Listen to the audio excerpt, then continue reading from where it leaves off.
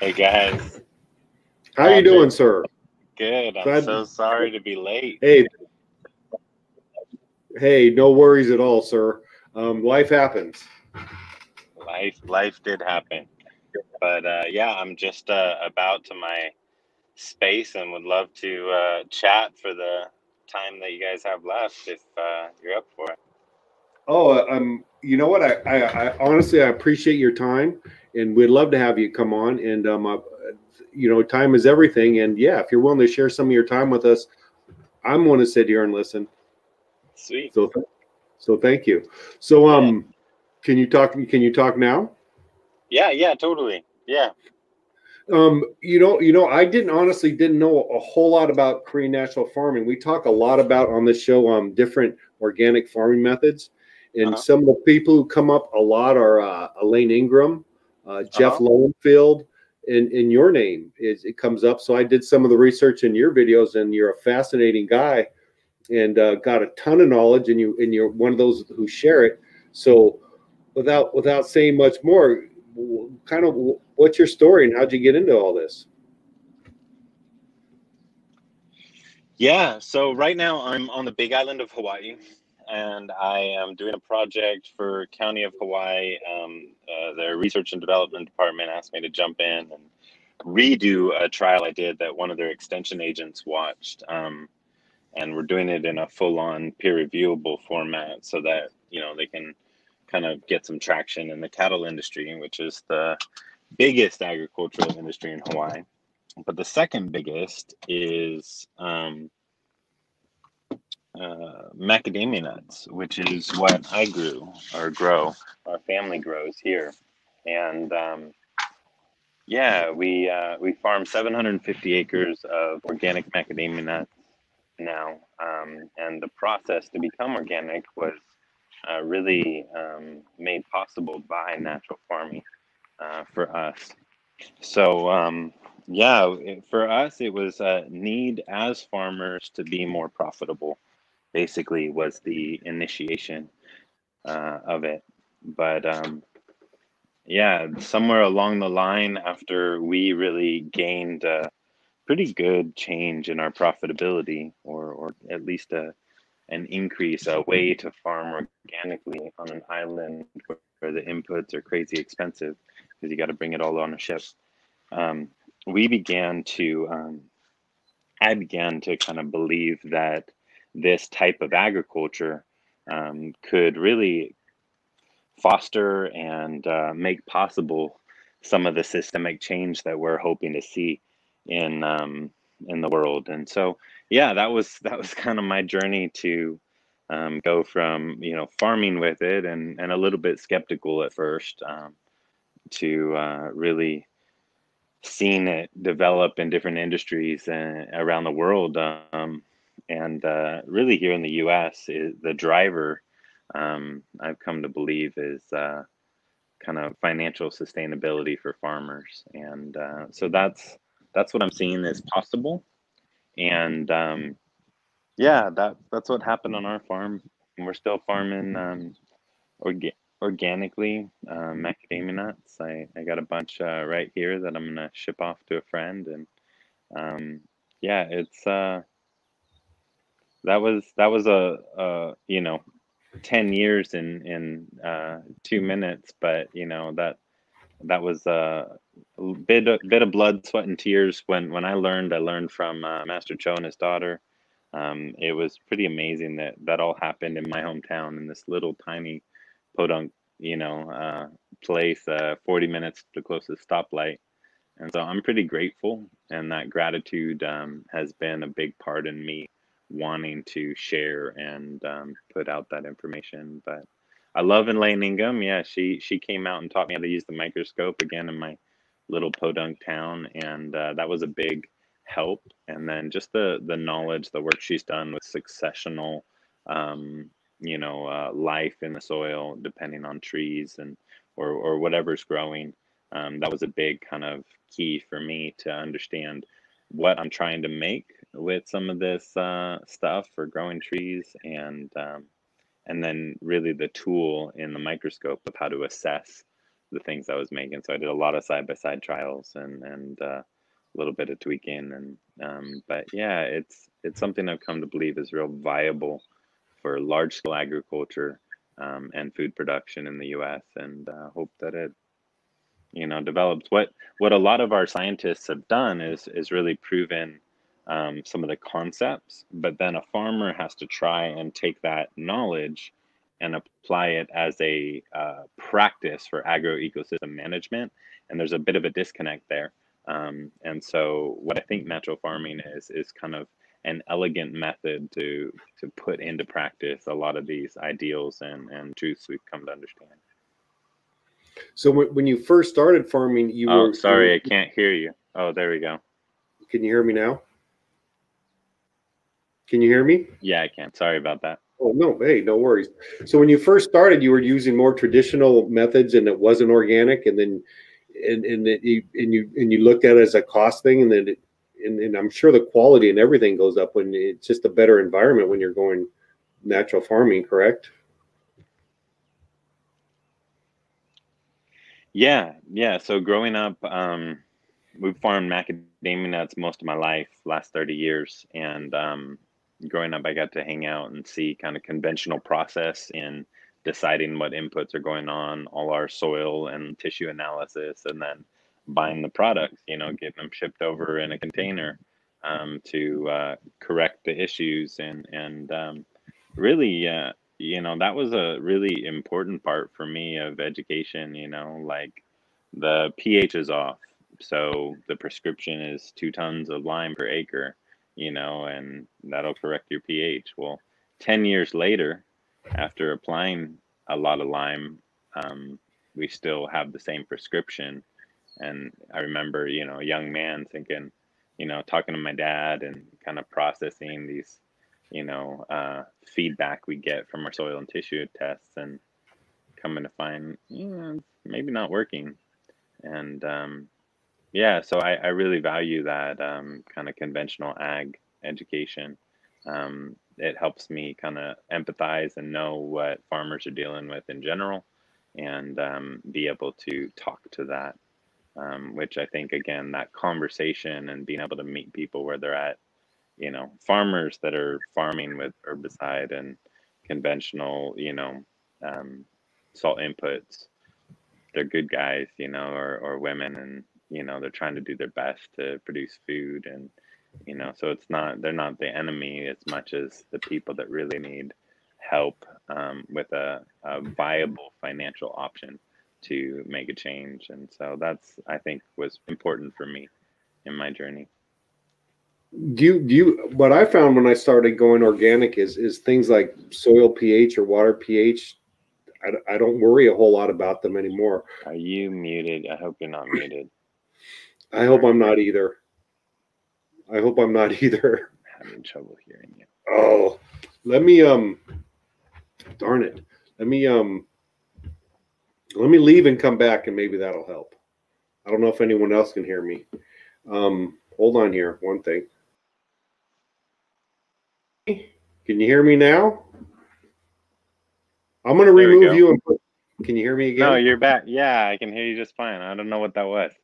Sorry. Uh, sometimes these things glitch, and it's uh, either I have to leave the screen or you might have to leave the screen. So, but um, I'll do it. What I was saying before is, what you know, you talked before about like measuring, you know, having your soil tested and and checking for pH, and then trying to remediate that. Have you found that since you kind of start using these natural living soil methods, that that kind of becomes a moot point? It just kind of takes care of itself, and you even test for that anymore? Oh, definitely. Yeah, definitely. We're not. Um, yeah, IMO four or liquid IMO. That those those kind of tools or or methods in this natural farming system, which is basically just um, diverse indigenous fungal life um, and and bacteria and yeast, kind of the whole um, group. Um, they balance their environment, their living environment. They buffer and and microbes like about a 6.5 pH. And so yeah, we don't have pH issues anymore. And um, what we started having in our natural farming, we did a 144 tree trial, uh, 144 acre trial for for four years.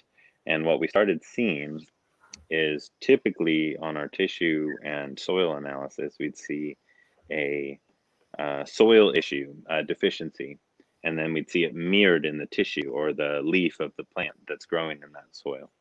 Um, with the input of natural farming, um, IMO4 and liquid IMO, we still saw that deficiency in the soil, but the leaf wasn't showing the same deficiency. Uh, to the extent that we had to have a conversation with our um, our uh, analyst, and he was like, "What are you guys doing? You know, I'm seeing this discrepancy. Tell me about this orchard." And we explained what he was doing, and so um, the next time we did a soil sample with him, which was the following year, um, he had a little asterisk he added. The, the asterisk was unless there's high amounts of microbial life present. You know, it was basically here's your soil deficiency, and it's going to lead to this t- tissue deficiency. Asterisk unless there's high amounts of soil uh, soil life present. Um, and so he had to he had to basically caveat because um, the trees were able to get access to those minor minerals they needed, even though they didn't show up in a traditional soil analysis. And so, yeah, big change, big, big change in how we thought about it too. No, um, yeah, I live here on the Pacific Northwest, west where the redwoods are, and and what, it, my realization was, you know, they're pristine when you walk through those forests. They're they're like you couldn't you couldn't create that if you wanted to, and nobody nobody fertilizes that. Nobody, you know, right. it's, it's just and I started thinking, you know, that's what I nature nature works in its ways, and we we have a saying, plants and animals eat plants and animals, and um, that, that that's kind of it's a it's a carbon cycle when you when you break down to it. But um, there's a lot of them, what acronyms where they use letters in in in in this field, and like and joining the army. It's like joining the army, and and, and you met you know you mentioned a couple. I, I'm kind of coming up to speed on them, but how would you um and I think one of your videos was Korean natural farming in a nutshell, which goes well with your macadamia nut farm. What what what are some of the big on nut jokes? What I'm yeah I'm not I'm not as good as the delivery. Um, what are some of the basics and fundamentals of, of of the idea of Korean natural farming? If you'd share that. Yeah, so it's kind of two parts. Um, and I think the the two parts sometimes because of the learning curve with the one part, which is the microbial inoculum, um, people focus on the other part, which is nutrients and solutions, um, kind of inputs for feeding plants. And um, in natural farming, that that uh, uh, microbial part is really the the eighty percent, you know, the 80 20 um, if you have diverse microbial life and a whole soil system working, you're going to have very little um, disease issues and uh, nutrient deficiencies, and you'll be able you can feed your plants for pushing that production and that yield. But um, but all, a lot of your, you know, um, lack of production due to soil issues stops, and so you have these really you know, lush and vibrant uh, crops just from that soil um, being right. And then the other part are all these um, liquid components, these ferments and tinctures that you can make um, as plant food. And um, so, yeah, indigenous microorganism and the steps to kind of get that from, like you said, this thriving forest to your farmland and get it established and then these all these like FPJ, LAB, OHN, all those acronyms. Oriental herbal nutrient is OHN. Fermented plant juice is FPJ, and then there's calcium. There's calcium phosphate. There's uh, potassium. There's nitrogen in this fish amino acid we make, FAA. Um, and so, based on your plant's growth cycle, you're spraying those nutrients um, as your plants need it. And it's a really immediate uptake. It, it can be taken. All these nutrients are, are really um, the concept and, and the um, theory is all foliar, you know, really highly absorbable. Um, so in fermentation or chemical reaction, you get these very micronized um, plant nutrients. And these are all things, the idea is the farmer can make all this. It's not, you know, it's not a gimmick. It's not a, you know, I'm saying it's highly micronized. So I'm trying to sell something like I'm not selling it. You know, it's, it's really the, to come to a place where a farmer has returned to the knowledge necessary to um, grow everything on his farm and produce everything, um, I think we'd have a really cool change. And, and, it might be that a giant thousand acre farm has to have a guy that's de- doing that full time. But compared to a fertilizer bill, um, we're talking pennies on the dollar. Um, and so, yeah, there's there's kind of a nutrient mix that you can make, and then a plant. It's called plant nutritive cycle, is kind of the way and the that you apply it. Um, and that's just um, the theory behind plant nutritive cycle is the right amount of nutrients at the right time. Um, and so that you're you're not needing a large amount if you're um, targeted and uh, and it's highly absorbed. You know a lot of what we deal with in conventional ag is about a 20% uptake. You know if i put on 100 pounds of fertilizer i'm hoping that i get about 20 pounds taken into my plant for production. And then the other stays latent until it's mined. If you're completely void of microbial life then often that can turn into a hard pan or create other issues um, in the soil. But um, but yeah in natural farming we're thriving soil life and then um, on demand or really targeted plant nutrients. And um, you know it's enough um, I think in our industry, they came out and they said you can't farm macadamia nuts with that little nitrogen input, and and we did, and and then they came out and um, and they wanted to know what we were doing, and they wanted me to speak at the International Macadamia Nut Society meeting, and um, yeah, so I think I think the real way to move this ball forward is to show the success stories, to show farmers, you know, um, making more money um, using you know um, microbial life or tending to the microbial life of the soil for their kind of agroecosystem management process. So yeah, it's it's happening. Um, I got students in a bunch of industries that are just killing it, and uh, as that story continues to unfold, I think uh, I think we can see systemic change, and you know, in our lifetime, and and um, our kids can have new, good nutrient dense food on the shelves. You know, uh, is is kind of the dream. Yeah, you mentioned you know higher profits, but also a much superior product as far as nutrients go, for sure, and flavors and and all kinds of aspects. now, a little plug for if, if anyone's interested in some of the things Chris talked about, he has an excellent YouTube channel. Just search Chris Trump, and, and he goes, you know, very educational on how to make like FPJs, fermented plant juices, OHN, Oriental herbal nutrients, if I'm correct. Now, those are, you know, if they want to learn about how to make those, I definitely would go to his channel. But let, let's look at, you know, I, wa- I watched some of your videos; they're excellent. Let's look at OHN for a second and um, Oriental herbal nutrients, and it's a process of, of making it right and fermenting a fermenting um, herbs, correct? Yeah, it, it's kind of like a tincture. It, it hails from kind of Japanese or Chinese traditional medicine. Um, it's anti-pathogenic or prebiotic type um, herbs. You know, things we understand are great for dealing with pathogens in human, animal, and plant systems.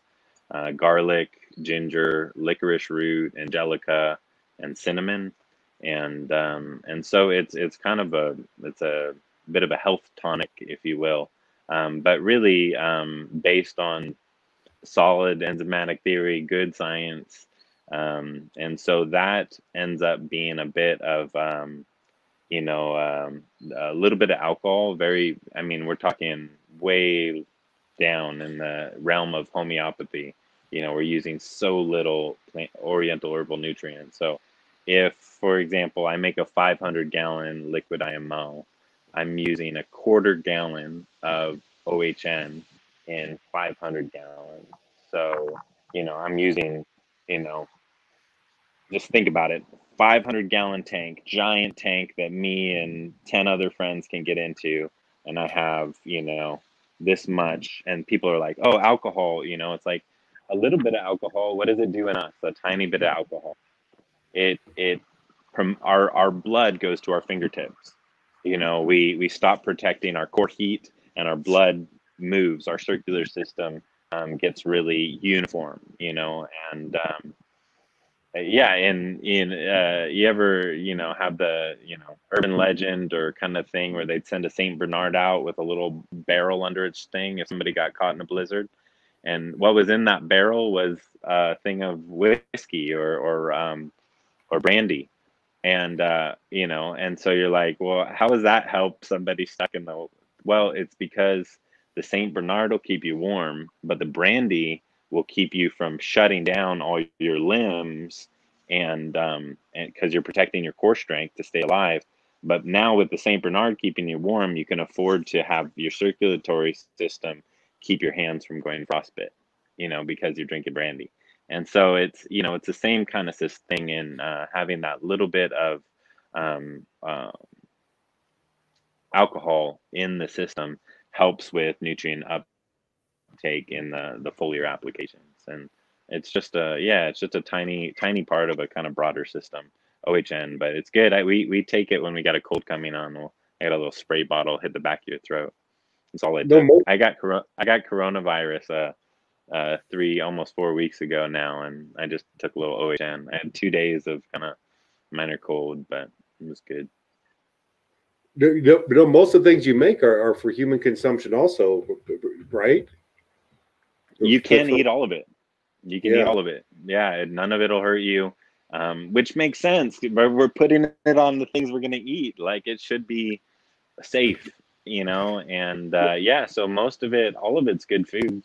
You know, I have a friend that wants my fish amino acid so he can cook with it. He wants that kind of, you know, uh, flavorful uh, fermented fish. He's gonna cook with it, and you know, that's my that's my nitrogen source. That's my uh, my fertilizer and he's gonna make it a part of his dishes so yeah it's definitely a cool thing that i you know we can taste things you know and and then cooking you know making farming with kids it's so, so great to be able to you know they can do anything with all of it and they're good and keep them away from the ohn it is vodka based you know but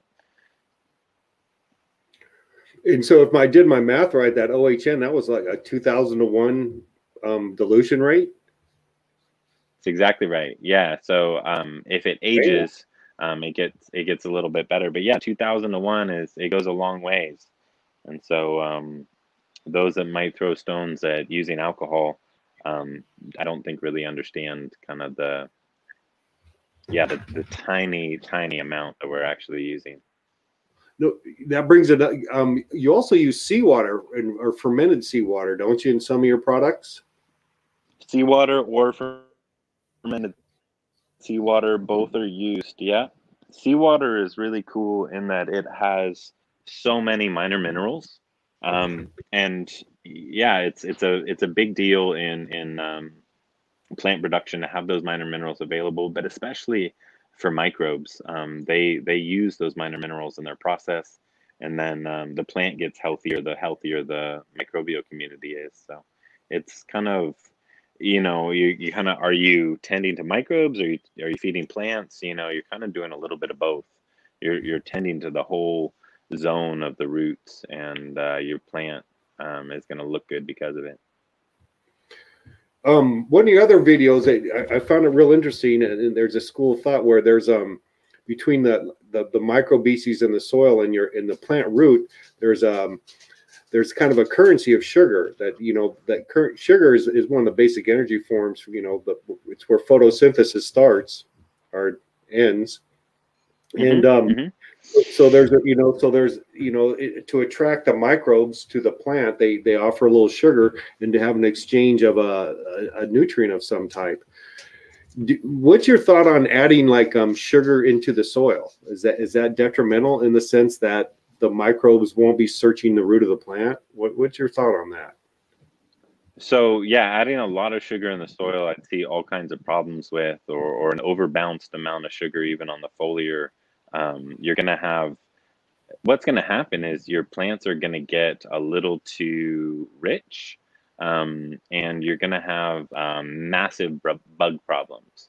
Um, so one of the common mistakes in natural farming is um, people read something on the internet um, about like FPJ, and uh, they think, oh, FPJ is good, so they make FPJ and they spray it on their plants, and they'll have problems, uh, real, you know, pretty serious problems, probably crop failure, because FPJ is a imbalanced nutrient by itself. But in natural farming, it's never used by itself. Um, it's used one to 500 at the minimal in conjunction with two other in- inputs. So, uh, uh, like a grain vinegar, um, rice vinegar is preferred, but any grain vinegar, and then a um, the OHN. And so, uh, grain vinegar brings in that sourness, drops the pH, and uh, the OHN um, facilitates uptake. Um, so FPJ is becomes just this kind of like liquid compost, like a really uh, available plant food. Um, but yeah, again, we're not we're using so little sugar that that it's um, insignificant. You know, that's something that people that don't understand the natural farming kind of what we're doing are like you're using sugar and alcohol like that's how you kill plants and you're right you know i'm i'm i'm 100% in agreement um, but not in balance. Um, and and that's really kind of what nature does in those forests you're talking about. Um, those forests and those communities of microbes in the forest have struck a balance um, over thousands of years.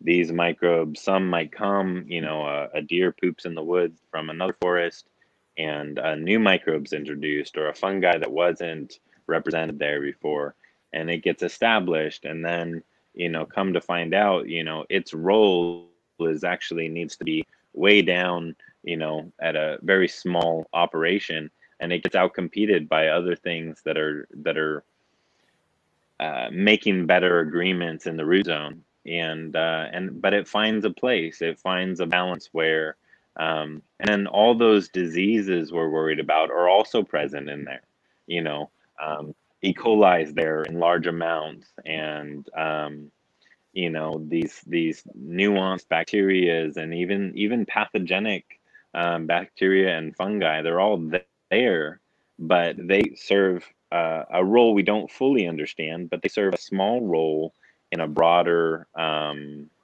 community. Um, whereas if you have nothing, if you're blank if we're blank.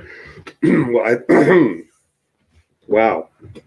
Hopefully it'll come back. That wasn't me. I swear. I wouldn't have done that. So sorry if you can still hear us. Uh, yeah, you actually dropped out. I don't know if it was a connection, uh, Chris, but uh, God, that was awesome information. Hopefully he's going to pop back on. I, I, I have a feeling he might. But yes, I am glad I stuck around. That was kind of nice. That was nice that I did that and it was a, a pleasant surprise. And, and um, what a what a blessed human being. Um, 750 acres on on the Big Island of Hawaii. Yeah, that's pretty cool. That's something to something to write home about, I guess. But um, I don't know if he doesn't. I was hoping. I don't. I didn't know how much time he had. Um, but I was I was hoping we could have some questions for him uh, out there. I know a few people have some questions for for Mr. Trump if he um, pops back on. But that was, um, I feel like um, a, a, spring chicken after seeing him come on in a beautiful background. Uh, obviously, a lot. Yeah, they're three hours before us, so so we're actually we're used to being behind the East Coast, but Hawaii's actually three hours behind us, I believe. Oh, let me drop. Oh yeah, let me drop the link here in case he's watching, he can catch it on here. I don't know. I don't know. But uh, well, that was a nice treat. I'm, I'm, I'm very, I'm very, very. That was very cool. Oh my god. Oh my gosh. Excuse me. Yeah, definitely. Um, if if it, if it, you know, he's, he definitely ha- he's there, there he's coming back. That's good. Um, look at him all; he's all fancy now. there you go. Hey, sorry about that. Hey, no worries. My so what phone. do we got here? What do we got here? So this is IMO four. Um, I'm making for a project that I explained for the County of Hawaii uh, Research and Development, and so this is around 120 degrees, and um, it's got indigenous soil in it and some wood and some nutrients and uh, but a bunch of inoculum from um, from the local area. So this will serve to remediate um, the the soil that's operating in imbalance and creating opportunity for um, kind of um, undesired production of plants. So there's a plant called fireweed, and uh, County of Hawaii spent um, millions of dollars trying to solve it because cattle's the biggest industry here, and um, and so we ran a successful trial where we remediated it just by rebalancing the soil using IMO, and uh, so they asked us to re replicate that trial. So here's all my inoculum. These are all um, my microbes from indigenous areas. Um, I have them all labeled with when and where I collected them. So this is uh, a Nohea forest um, up on the mountain. I collected uh, on 2018, so February 2018, uh, and um, all of that. Um, can you hear me all right? I can. So you're coming in loud and clear. All of that goes into um, this process and we're able to um, yeah we're able to have kind of an indigenous inoculum and uh, this actually is super warm let's see where we at here you go 110 so that's a really good temperature. We're happy with that. Can you see that? Yeah, I can. and uh, yeah and then when you're really when it's a cool night kind of stormy day like i'm dealing with right now i can uh, pull up a chair and uh, stick my feet in it and i have a little uh, sauna you know a little personal spa i get to uh, experience here. Let's see We lost him again. Just as we were going to see him dip his feet in that 110 degree. So yeah, I'm a big believer in grounding yourself in the soil, and I bet you that really will ground you, but quick. Yeah, so I got a class coming up uh, at the end of the month where there'll be, you know, 70 something students, and I'll make 2,000 pounds of this material and uh, I'll bury them into it up to their chin. And Really? uh, so they get a they get a full body sauna. It's kind of a fun uh, thing they get to play with. How about But, uh, so, so is that composting? It'll eventually cool off, right? So yeah, so the the way we kind of do it is we have a really controlled amount of moisture that goes into this. And Mhm. so they are using microbes are using that moisture to do their processes. Um, but then as they kind of work, they um, they'll use up the moisture. It'll dry out, and it's harder in Hawaii because sometimes it's constantly being kind of re moisture is being reintroduced just by the air. But um, as it dries out, they stop having kind of things they can do with it, and uh, their the fungi will sporulate, and in the end, um, this process we really we end up with a ton of fungal spores, but also some of the other parts of the um, soil food web. We end up with um, microarthropods and nematodes um, that have kind of thrived in the edges because the surface stays really cool, and so and it's tons of oxygen. So you have these um, cakes of fungal life that grow in the surface, the highly oxygenated cooler but damp and full of nutrients. And then in the center, when it gets turned, those fungal hypha get to a too warm spot in the middle of the pile and they'll say, hey, this is a little uncomfortable, and they'll sporulate. And so they the the fungal hypha, the body of this fungus will push its nucleus into a fruiting head and create a bunch of spores, just like a mushroom has spores that come off their gills. Um, and then in the end, I have this kind of dry material that if I look at it under microscope, it's like solid marbles, fungal spores. And then that's what I apply to my farmland. Those spores wake up And because they're indigenous, um, they self perpetuate and establish in my agricultural system. So you just basically top dress it on the soil that you're interested in remediating? Yeah, yeah. So this will be applied at 330 pounds per quarter acre. Okay. And, and that gets rid of more than it gets rid of the fireweed you said or remediates it? Yeah, so so fireweed is a plant that thrives on bacterial imbalance. And the reason it shows up in kind of um, cattle systems is every cattle person, their grassland is their yield, basically. They're, I mean, they're, yes, they're growing cattle, but really they're farming grass.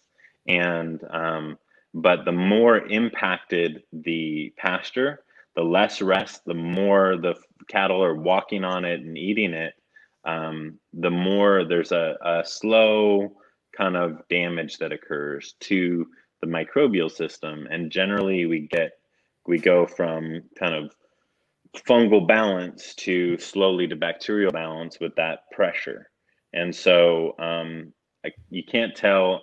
I mean, really, one a really good system, and there's lots of great cattlemen doing it, is rotational grazing, and that allows those microbial systems to stay um, balanced, and your grass production stays up. But that's that requires some infrastructure. We're talking major fencing because you got to divide paddocks and then you're moving a lot more. Whereas, um, you know, pat cows will just go roam in a big paddock, and and it doesn't need to be as heavily managed. Um, and so, you know, really, I'm not saying they're bad cattlemen, but really great pasture managers. They're never going to have fireweed because they won't get bacterial imbalance. But what what this experiment is for is to say, hey, could somebody come in with a liquid IMO spray once a year or a couple times a year and get the same effect of keeping that system um, balanced and uh, fireweed in a balanced system dies because it it thrives only in bacterial imbalance. So when the fungus comes in, the fireweed actually gets powdery mildew, powdery mildew, and starts getting hit by like um, uh, aphids. Oh, it's really cool. You you watch the soil balance and all of a sudden um, fireweeds dying to things that like crops die to and then going back to crops why are those crops dying to these diseases well probably because you have soil imbalance because you're working that ground and disturbing those fungal communities so something like this can go a long way to prevent disease and, and increase plant yield so, so, do you think that's some of the idea behind no till is just to, to not disturb the, the fungal hyphae? Yeah, that's kind of, of it. That's a big idea. You so I've, I've heard that before where you, you really don't want to mix up your soil because you're breaking up you're breaking up those which are basically increasing surface area of your roots, correct? Is that one way to look at the hyphae? Um, yeah, well, so the generally beneficial fungi create really special relationships with roots. And so, yeah, you're you're you're taking away a, a vital component of the whole cycle of the plant, like you said, photosynthesis and sugars. And and sugars exist in agricultural systems because plants produce sugars. And so um, Elaine actually talks a lot about this and, and is a big uh, yeah, she's someone that studied it, and um, but plants photosynthesize, take those excess sugars into root zones and create these um, kind of root exudate kind of fields where fungi want to participate in that, and fungi um, uh, create a kind of symbiotic relationship there where they're bringing the rock that they're mining, the minor nutrients, and they're depositing in exchange for carbohydrate. And um, and so these plants get on-demand microminerals in their root zone passively, and um, that's why sometimes you're not, you know, in a really thriving soil system, you're not needing, you're not getting these weird lockout scenarios, and not needing quite as much um, major inputs um, because it's really cycling all itself in the root zone uh, due to microbial life and, and diversity and also another thing of fascinating about plants is is a vast majority of the of the Uh, I can't hear you again. Should I drop the call? Um, no, no. you want- can't hear me again. Sorry about that. Okay. Can you hear me now? I got you now. Yep. Just a in and in, quick in and out. Um, what, what was that? I- I forgot what what I was saying. Darn it! I thought I had something interesting to say, but that probably not. Yeah. So so this is in day three or day two of IMO four. Uh, I made IMO three for about a week, and then this will take uh, you know a little a little about a week, and um, then I'll make I'll apply it. Um, like I said, at 330 pounds per quarter acre. We have a gridded out trial with that'll be randomized as far as which blocks are which, and um, yeah, this is actually something I talked about uh, years ago, and people have had a lot of questions about this trial. How did it turn out? And what happened is I left, and there was just a hiccup in getting it done. So I'm back here to kind of see it through, and um, and it was a bunch of cool things. We learned a lot in in the process of them working on it. But uh, yeah, this will be applied, and then we'll apply liquid IMO. And my hypothesis is that I can get the same results I've gotten before with just a liquid application which would be a lot cheaper for farmers. And so um, we're going to do all that um, in a, um, I think it's four. I think we have a solid and liquid, a liquid only, a water only, and then a control with no inputs. And we have it duplicated and then randomized. And so it will be uh, um, all of those systems happening simultaneously in the same area, highly dense fireweed area that probably is really bacterially imbalanced. And we'll see um, what kind of remediation we get, and we'll be able to take pictures. We're also going to do before and after soil tests so people can understand that this fireweed is not a weed problem, it's a soil life imbalance problem. And, and even if that's as far as it goes, just helping people understand what's going on, uh, I think it'll go a long way to help them come up with real viable solutions. So, what they want, they, what they want us to do is they want us to create a business after we finish this, where uh, uh, we're producing liquid IMO and selling the service of spraying it to farmers. But I'm not going to do it, and uh, my student who would be really capable to do it isn't. Uh, so we're going to have to scope out. So if you know anybody in Hawaii that wants a, a little leg up on a viable business, we're uh, we're getting them primed for one. I don't think you would have to shout too far for that. Now, you, you, you, you, you, yeah, I think yeah, that that should be easy to come by. Now, you mentioned you're working with the state, the state government with this project. Now, are you working with universities in conjunction with that, or um, any uh, professional organizations that are, you know, uh, writing papers on this and publishing it, or?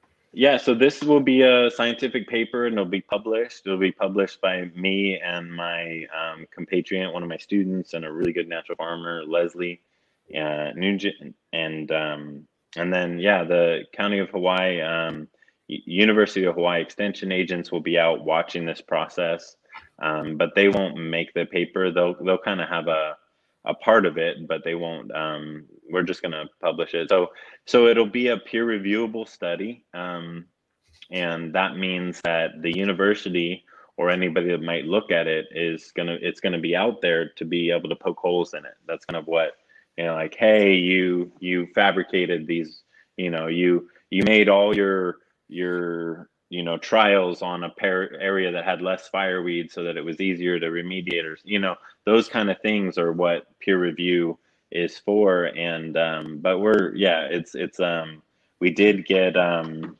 advisement um from uh uh doctor in microbiology but it was kind of like yep you got it. You know this is what you should do. You you got it lined up right. So yeah it is it is a study it is going to be published and um it, it's kind of eh, what the what the county of hawaii kind of demands it from that but um so county of hawaii each state each island is like its own county um so it has a mayor but it's it's uh so it's not a, a state run thing because each island's kind of somewhat isolated and and um, runs its own stuff so this is county of hawaii or the big island where i live and then research and development is supporting that and they're it's so cool that they you know have kind of they really kudos to them for kind of providing some resource to make this happen because I think it's a good step forward.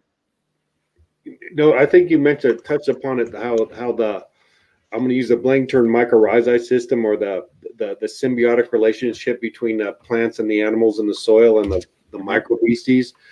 Um, I started, you know, looking in like how, you know, there's not a ton of information out there. I think Rutgers University is one of the few places that is really starting to investigate this. But it's, but this, it's kind of, it's, it's a new idea, but it's an old idea. And um, I'm just, you know, like Elaine Ingham, when I read about the living soil or the soil web, is like it opened my eyes, but it's really thousands, millions of years old. And uh, we're, yeah, you're you're exactly right. We're just partnering with how nature's already works. And the deeper I go into this, the more it's already a symphony. You go out into the the wild forest and and it's there there is a uh, there is an orchestra leader. There there this is this is a complex interconnected um, machine of uh, you know machine's not the right word but just uh, it's a symphony it's it's um it's all these variety of, of microbes and organisms all working in tandem and in conjunction.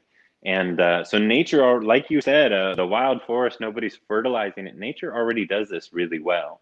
So we have um, a unique natural environment as farmers where sometimes we got one crop in the ground over a large area and uh, that's fine you know that's totally all right but let's partner with how nature um, you know fosters plant growth and um, get the benefit of you know all the strength that already exists in nature. And so that's that's kind of what natural farming is is it's not anything new.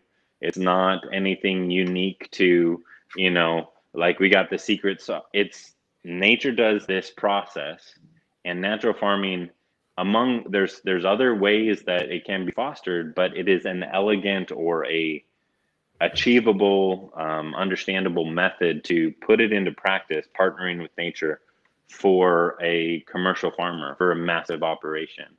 And um, that's that's why i like it no um yeah yeah if you look at the example of forests they're, they're pristine and, and gorgeous and just just you could say perfect but we're not harvesting so so nature can do it all on its own, but when you start harvesting from the land, that's when you have to start figuring out how to re- replace the balance. And and I think you know yet we you have to use some of these techniques. Otherwise, you really you know if you never harvested an acre of land, it would it would thrive. You know you know. Well, it would thrive or, or it wouldn't. Um, uh, one little, I mean, I, I agree exactly with what you're saying. And there's there's a there's a component where um, it might not thrive um, so say a place has been torched, whatever, and in Hawaii or some places they use for growing ginger, they use methyl bromide, where they'll tarp whole acres and then blast a pretty pretty devastating chemical in, and it's to kill everything.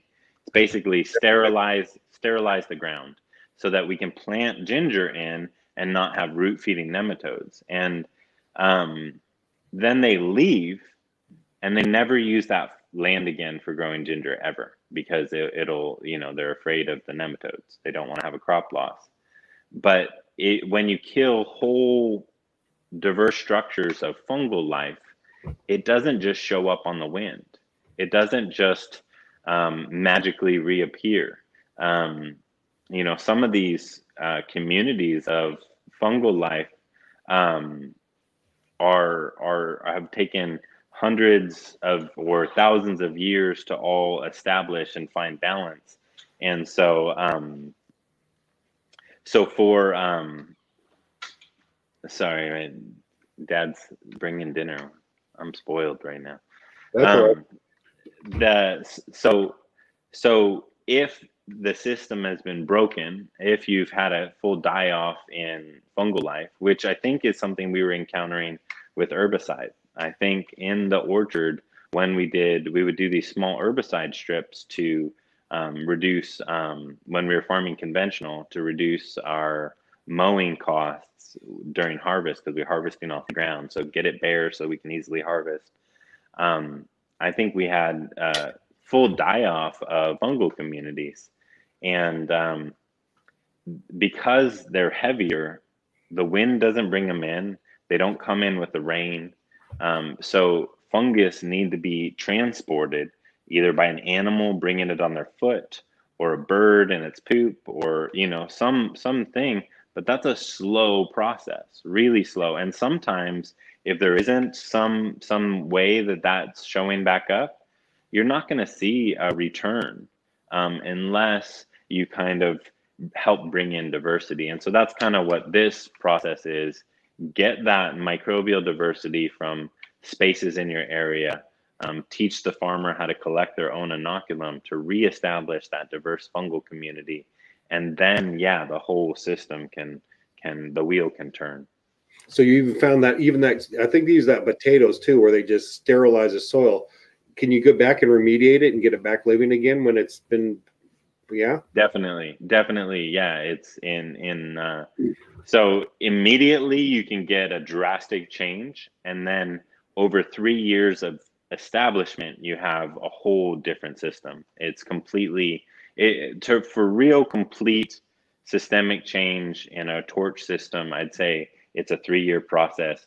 You inoculate in the beginning, but then for it to really get up to speed, move into the soil, to have the earthworms come up to population and all of that, it's kind of three years. But um, but I can farm ginger in the same place year after year with no um, root feeding nematode damage um, because we're establishing diverse microbial systems and we have um, bacteria, predatory nematodes, fungal feeding nematodes, and the predatory nematodes prefer the root feeders. And so if you have the system or the community there, then you don't have this runaway um, pest because again, the predatory, just like in Probably. Yellowstone, you know, the the deer were were dealt with by the wolves, and the plant life came back, and and um, so yeah, nature, if you partner with it, is really good at establishing balance, and that's what we found.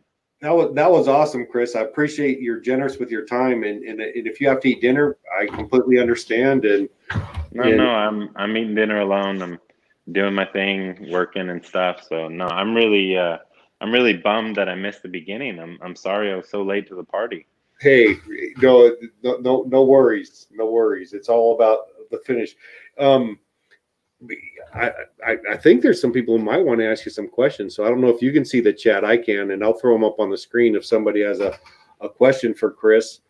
Um, fascinating, fascinating. You know, one thing that you talked about in one of your videos that that I never thought of, which which was also just you know, one thing also about a living soil is it, it has living things in it, and living things are mostly water.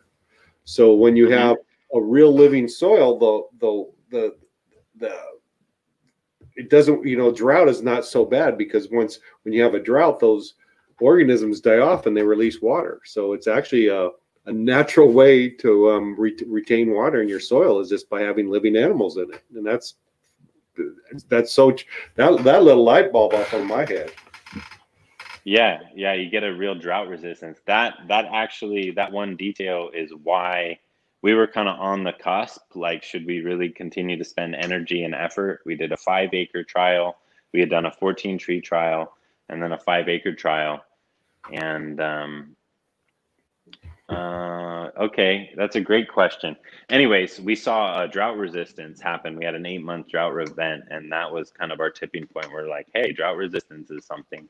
So that question um, was asked: What are the individual strains in lactic acid bacteria when we're making lactic acid bacteria? And that's a wonderful question. Um, Sun grown 707. Um, so lactic acid bacteria, or so the family's lactobacilli, and then there's all these different types. And then um, we haven't, as a scientific community, mapped every variation of DNA within that family. Um, there's a lot that we still don't know about the lactobacilli family. Um, but um, to explain this, I'd like to explain a term, uh, terroir. Um, uh, cannabis community is really big into terroir. The grape community is really big into terroir. Uh, the cheese, the cheese uh, um, production uh, industries into terroir. It's it's basically a um, a unique flavor that comes through fermentation or um, or you know in in the cannabis case plant production um, due to the individual or the unique microbial communities that exist in their area. Um, and so they say you can't make champagne except in champagne france because it doesn't taste the same. It's it's a totally different product. And um, and that's a due to terroir or the microbes that are in their air and in their soil there are unique to Champagne, France. And so when they ferment champagne grapes, they get this very unique flavor expression and alcohol production because of the microbes that are present. And so to answer, you know, which strains of LAB, well, where in the world are you? And that's kind of the point of that and a lot of these microbial inoculums is your strain of LAB in Tennessee or uh, somewhere in the Midwest versus what's going to show up in Hawaii or Guam or the Philippines are going to be uniquely different. Um, there, there's going to be a lot of similarities, a part of the same family.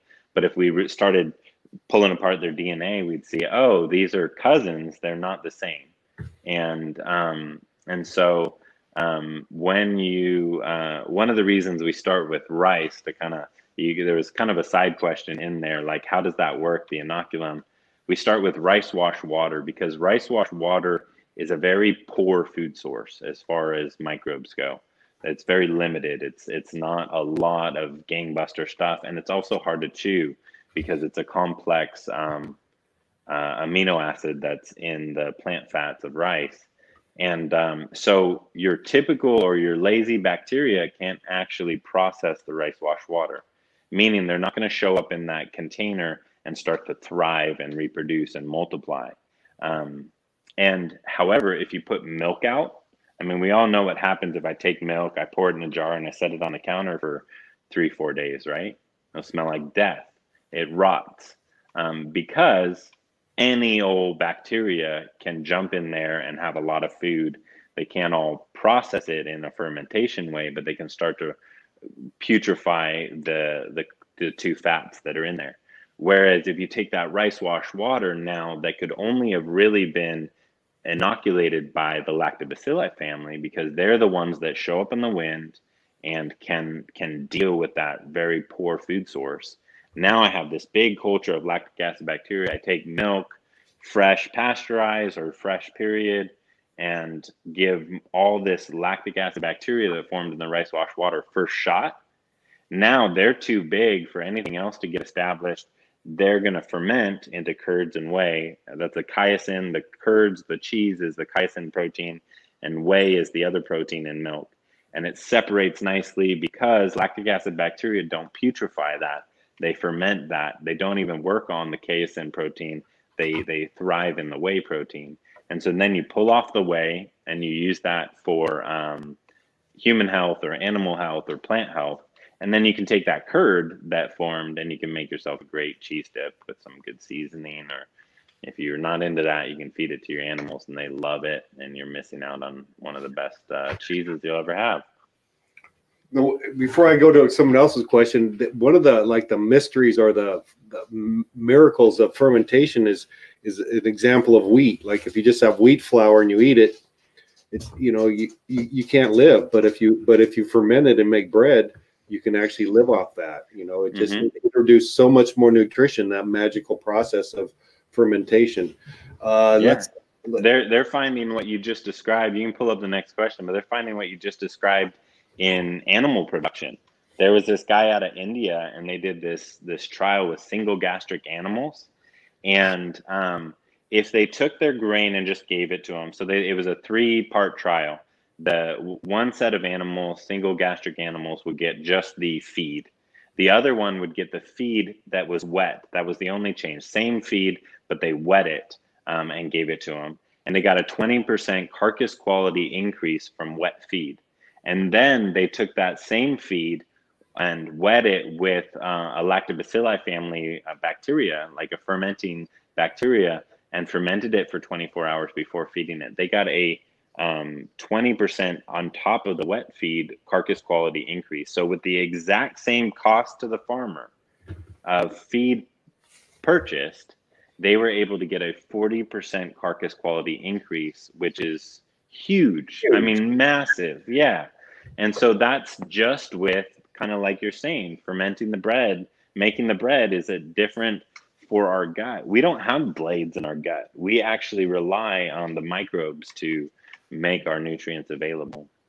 Um, what are tips for fermenting store bought fruits? Ooh.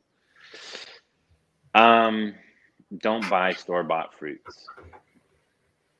Eat those if you buy them, but don't do that for FPJ. Um, trust me. It's not, you might think, oh, but I know bananas have good potassium. I want potassium. So I'm fermenting bananas. Just stay away from that line of thinking.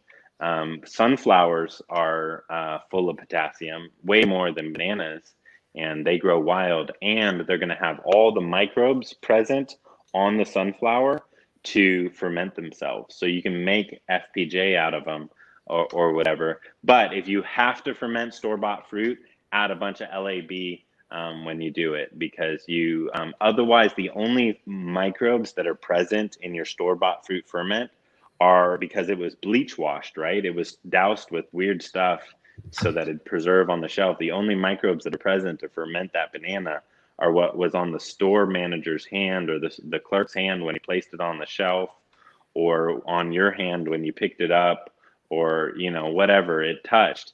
And the, there's some funky stuff in there. So you get really weird molds that uh, happen if you're fermenting without their indigenous fungi. Whereas or, or their yeast and bacteria. Whereas any plant you harvest in nature rich in nutrients um, is covered completely covered in everything it needs to ferment itself all right Run Boy 7426 Would leftover sourdough starter have any place in the garden?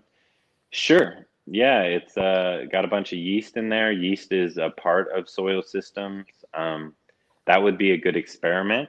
Um, so mix it in some water and water some soil and uh, let us know how it goes. But make sure that you water some of one crop and that same crop is not not watered next to it so you can have a uh, real answer on how it helped you. Um, can we add compost tea to the rice wash then milk to create lab um, compost tea to the rice wash then milk.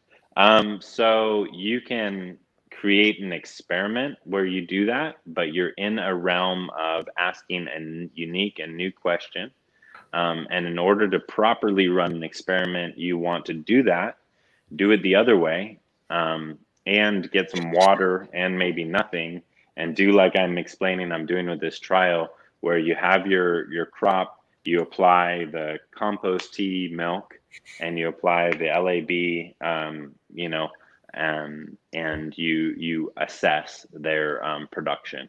Um, but compost tea, I think you don't need to really. If you have compost tea, just add it to your garden.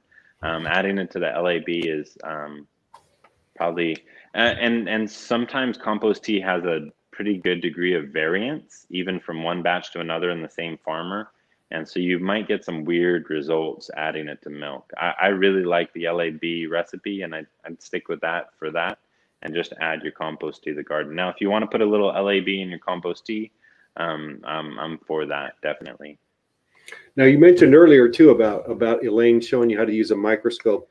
How, how much of that up your game when you started doing that, where you actually started um, analytically looking at, at what's going on? Is it highly recommended? Um, I don't know that anyone needs a microscope. Um, for me, it was really important um, because when this came from Korea, my teacher, um, Master Cho, um, he, his whole name is Cho Han Kyu. We use master um, as like a sir or a doctor or mister. It's it's a term of respect. It's really important in Asian culture. Um, and um, so yeah, he's um, when Master Cho come, he said, "Hey, this is how it works in Korea. You're in Hawaii. You're gonna have to figure out how nature works or how you can partner with nature using this technology in your area. And um, there was a lot of failure in the beginning uh, when this landed. People were struggling to basically produce fungal rich IMO. And um, so for me, it was a vital key at the right time. Um, I was kind of grappling with the idea of do I need to understand everything about this and fully wrap my head around the science and the why, or can I just buy a product that somebody else is making? And I did that. I bought uh, 20 tons of IMO that was produced in 24 hours in a machine. Um, and uh, it nearly killed five acres of trees because I, I, I, introduced bacterial imbalance because there was no fungi in that material that I was buying. And um, that was about the time Elaine came. And I was able to look at that material, realize it was all bacteria, and then realize with that information that um, she was teaching that I have a tree which is somewhere between a hundred to one and a thousand to one fungal to bacterial ratio preference. So it needs a high fungal community, low bacterial community. And so, yeah, the microscope helped me do side by side trials to see what food source was going to give me the most fungal production. And that's what a lot of people use as far as recipe now in the US is they use that kind of the product of that side by side work, assessing it with the microscope. That's why people add wood chips um, to IMO. That wasn't part of the original recipe. Um, but in Korea, they ac- they kind of accidentally add rice straw. Um, I watched this, I observed it. It isn't in the recipe, but it's their modality or how they do it. And rice straw is a high carbon and it's a fungal food. And so that, anyways, and and we add humic acid. Again, it wasn't in the recipe, but it promotes fungal growth. So yeah, the microscope was integral for me, but I've also done some of the um, homework for everybody. Um, and um, I don't know that it's as necessary um, just if you use the recipe as as a, I share. How is the finished LAB used? Um, it's used at a rate of one to a thousand. Um, it's actually a really small part of the whole um, natural farming system. Um, it has a pretty big online presence in some kind of forum communities. LAB is kind of the main thing. And it's great. It's a great tool. Um, it's basically better than most bugs in a jug you can buy. Um, but it is only bacterial. Um, so I would use it like if I was growing lettuce, I'd add LAB to my compost tea. So I had that balanced one to one that lettuce likes. Um, some people use it to prevent powdery mildew or knock out powdery mildew. That's what they're playing with in the wine industry. Uh, great production. They're using LAB for powdery mildew. It's really effective. Um, so, but it's generally used at a rate of one to a thousand in water. Would goat's milk work instead of cow's milk? Great question. Um, yeah. And and uh, Ink Gangus, good good name. Um, Ink, Ingongus, I think. Yes. Ingongus. Okay. Um, cool. Yeah, uh, we we uh, we need to uh, promote and uh, and support um, women farmers because everywhere I travel in the world, um, they're the best farmers by far. They're they're you know I'm not saying that they're not some that that the best farmer in the world isn't a guy. It might be, but um, just in general, the um, care that comes, kind of the superpower that women have to be um, bring care to what they're doing, um, makes for for better farms. So yeah, continue to you know see that as a strength in our uh, overall community, and I think we'll we'll grow as farming uh, in the U.S. But Goat's milk works, so does raw cow milk. However, if you're using raw goat's milk or raw cow milk, you might not have to do the rice wash water step because that's coming out of the animal with your indigenous LAB present because that's what's needed for the calf or the um, baby goat, the kid.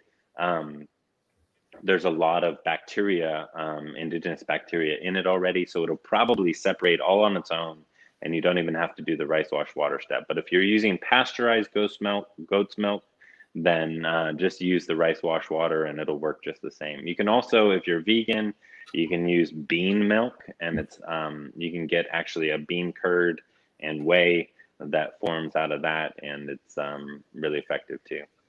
No, you you hit the, the, nail on the head with this young lady. She works real closely with Grean Bicycles, and she's um she's very great note, and she's very interested, and she pushes pushes the envelope a little bit for us, and um she's kind of pushed us into this area of of, of looking into you. But um you're you're right about that. Women farmers are awesome, and we need more of them in the cannabis industry. I don't know how much you deal with that back back over there, but we won't we won't even ask that question.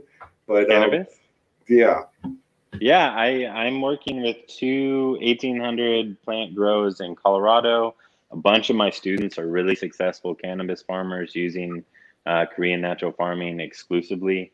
Um, and, and everybody has their style. Some people will bring in a little of their favorite nutrient in addition to the natural farming stuff. And everywhere I've gone with farms, um, everybody has their their slight variation that they that works for them maybe what they have available or their favorite nitrogen source. So there's a lot of room. But yeah, I mean, I have it's on my phone, but I have pictures of this. Um, really, one of the best proof of concept natural farming farms that I've worked with so far. Um, you know, there's some outdoor that's killing it, but as far as indoor, these guys we built them a soil bed using cedar, kind of like this box here, and um, my friend Leighton Morrison helped with soil structure. So we did rock, sand, silt, and clay, compost, um, uh, compost, sand, silt, and clay, and then compost and soil. And then we inoculated all with IMO4. And they've used only natural farming inputs to grow. And they have just gangbuster growth and fuzz and crystals and massive plants with really pretty flowers. And they harvest at the end of the month. Um, yeah. I don't know about. Um, I don't know if this is a troll question or not. No, you know what? A lot of people ask this because they're thinking of human health and they're like, what is the optimal thing I can put in my body? Yeah. Can I use breast milk, human breast milk, to make um, LAB? And the answer is yes. Um, you know, that's that's all milk is, right? It's bovine breast milk, um, you know, and and uh, goat milk the same. So, yeah, it's um, it definitely works. If you are using uh, raw, you may be able to avoid the rice wash water step. Um, you'll have to play with that, but that stuff's like hundred dollars a couple ounces. You better be uh, better be careful that you know. But um, yeah, no, I think I think that could be really good for human consumption um, if you're if you're looking for. But I feed LAB to all my kids. Um, when they were born, they got a little bit little droppers in their in their tummies to help them sort um, gut health and and they've all really done well. They it helps with colic. Um, if if you have a baby that's really uh, always gassy, LAB is really good. But I'm not a doctor, so I am really just sharing my experience, and you're gonna have to make your own decision in your own family, and you can't blame me if you do something wrong. you, you mentioned that you you you under, you got COVID the COVID virus, and um, mm. and, in in what was it that you think helped remediate that? So yeah, I used um, well. I mean, I think just not just being healthy in general is probably what you know why I had a really minor case. Um, you know, I'm probably got a little extra dad weight on me, but I'm not um, you know too too big or whatever. But um, yeah, I just so I put my OHN in a little spray bottle like this, and fill the back of my throat. You can put it under your tongue. And I do that, you know, a few times a day, especially when I travel. But yeah, I had a really minor case. So thankfully, I'm thankful for that. I know, uh, got some people scared. And um, if my experience is anything, uh, not really something to be scared about in my case. I tell you um, what, I'm um, going to try to. You've been more than generous with your time, and and you got to eat dinner and and do that. So we'll do a quick, a question or two more, and then uh, we'll, you know we'll we'll we'll let we'll let this gentleman enjoy the rest of his evening in lucky Hawaii. I think I think offering a position like, well, here's a business opportunity. Yeah, you you you'll be able to that that that would be fun to offer. Yeah, well, and I'm you know I'm uh, I'm teaching a class at the end of the month in Boise, Idaho, it is on, it is going. Uh, I have a bunch of returning students that are going to co-teach, and uh, the October or August 31st through it's like a week, and that's really how I've seen that hands-on taste, touch, smell is the best way to transfer this knowledge. Um, online works, but it's really there's this component where it once you smell this um, going right, you'll never forget that smell. Your nose will never forget that smell, and and there's there's no way I can push that smell through the camera for you. Like no. you smell this one time, you got it, you know, and then you smell it going wrong one time, you you'll never have any questions on on how you did with your performance. So yeah, if you can, and I have a website, naturalfarming.co, and you can download a bunch of free PDFs there. Um, that it really it's a it's really simple. I'm not offering a whole bunch in those PDFs, but what it is is it gives you a material list. So if you're just starting out and you're trying to figure out what do I need on my table to actually make this, so that you're not got all the stuff there and then you need to go find a funnel or go find a strainer. Um, it gives you a material list, like get all this stuff together and you'll be able to make this thing and um, and then I have some some of my favorite tools. I don't sell them, but I link them so that people can see. Here's some of the containers I like to use and tools I like, and yeah, it's just kind of trying to be helpful. No, um, for those for those who come in late, um, he has a lot of these recipes and, and very helpful videos online on his channel. So yeah, YouTube, YouTube too. Yeah. yeah, just Chris Trump and yeah, I, I, I tend to answer questions too in social media, so people, and then there's there's a growing knowledgeable community. Um, is the KNF class comparable to Dr. LAD class? Is the LAD portion included, and is it a recognized program for someone looking to expand to a micro crop?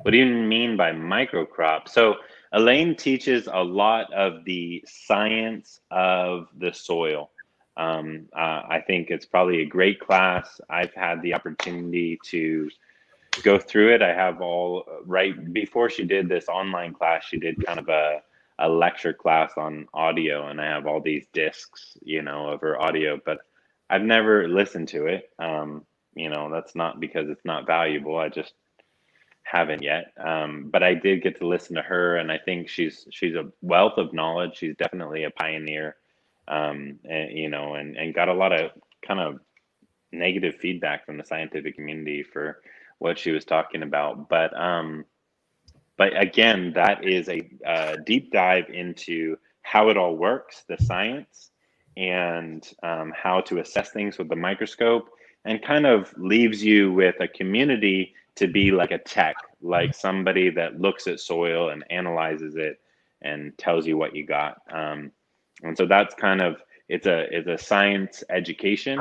Um, what what I'm teaching is if you took that knowledge or that truth that this is how nature works, but now I want to apply it to a farm system.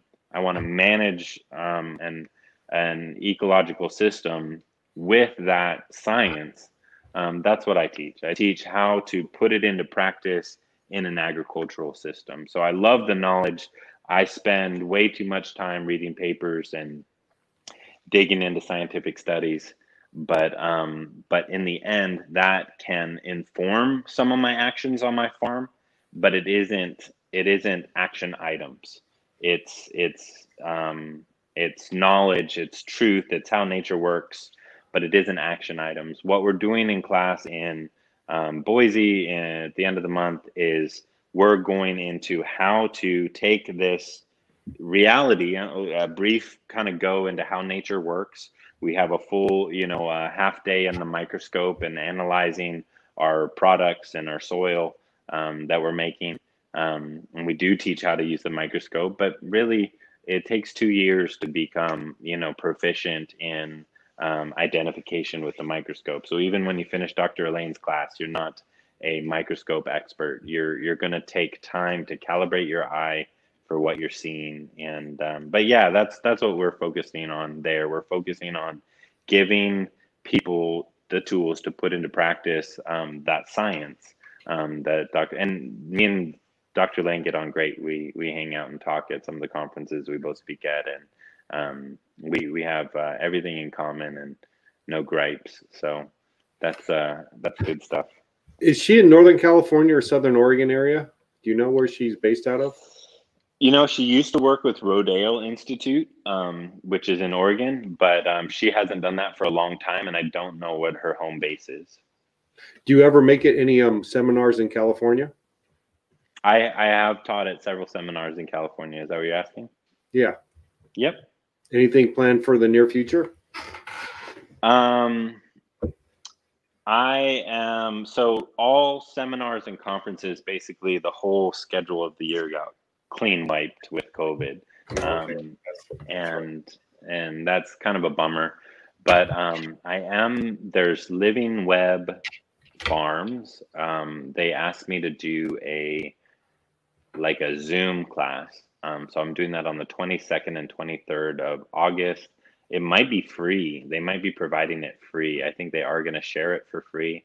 But I'm going to spend two days, you know, two five hour days kind of crash coursing. Um, so it's kind of like an introduction class of like a level one. And then that five day intensive would be like a level two, you know, not the levels or really anything, but it's kind of the five day intensive is, is all the hands on and really kind of you leave with a real good understanding of of what your parameters are and all of this. Um, yeah, hope I answered that question well. I think you did. And if you're ever in um, Northern California, I'd love love to show you, give you a little nickel tour around this area. I can. Where in Northern California? I'm or, on, or what? I'm just south of the Oregon border in Crescent City on the coast. Okay, all right. I have a friend that lives close to there, um, in Arcata, I think. Yeah, yeah, yeah. A lot of yeah. Um, we have, I think, one of the heaviest trees in the world here. It's 30, 30 feet across. Nice.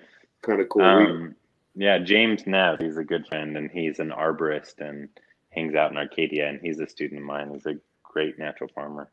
no, it, it's an interesting area for agriculture, um, especially in the cannabis industry. Yeah, yeah. There's a regenerative cannabis cultivation conference, the Science of Regenerative Cannabis Cannabis Cultivation Conference, that they host in um, Humboldt County uh, once a year.